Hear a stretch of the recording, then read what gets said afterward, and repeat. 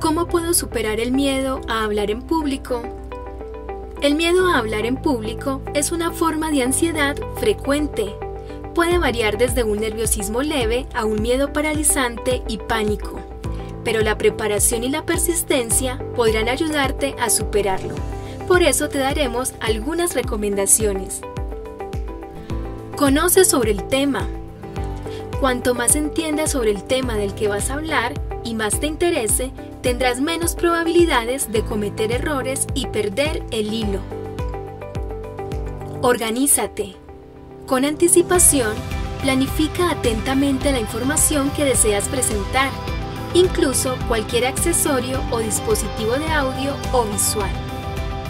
Cuanto más organizado estés, menos nervioso te sentirás. Respira profundamente esto puede ser muy relajante. Inhala lenta y profundamente dos o más veces antes de subir al estrado y durante el discurso. No tengas miedo a los momentos de silencio si pierdes el hilo de lo que estás diciendo o comienzas a sentirte nervioso y tu mente se pone en blanco.